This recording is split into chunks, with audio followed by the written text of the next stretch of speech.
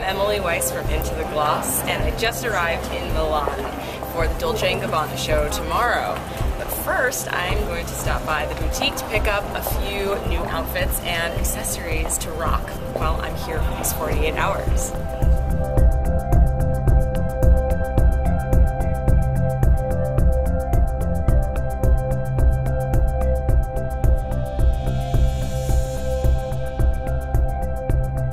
I just left the Dolce store, got an amazing dress and little sequined leopard bag. I'm gonna be going backstage with Pat McGrath, Dolce & Gabbana The Makeup, one of my favorite lines. I'm wearing the lipstick right now.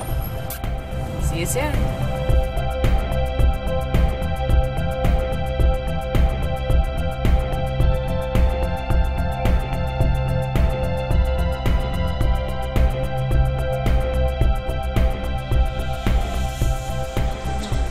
As we said, it's like 50s without the weight.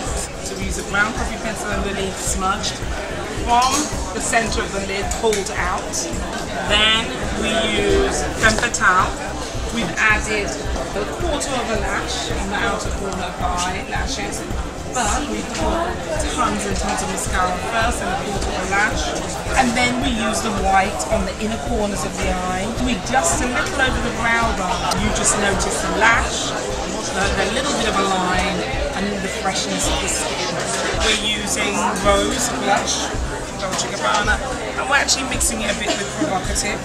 I don't want to add, but I just literally dust. And then we have our fantastic new Passion Duo lipsticks. Thank you so much, Thank you. Thank you, my darling. Fantastic. Thank you, darling.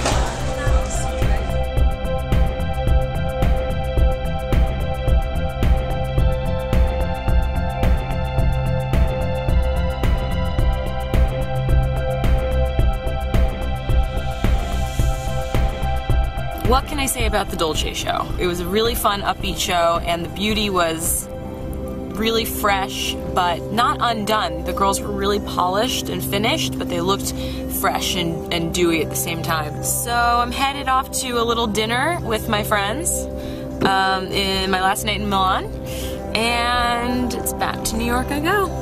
Bye.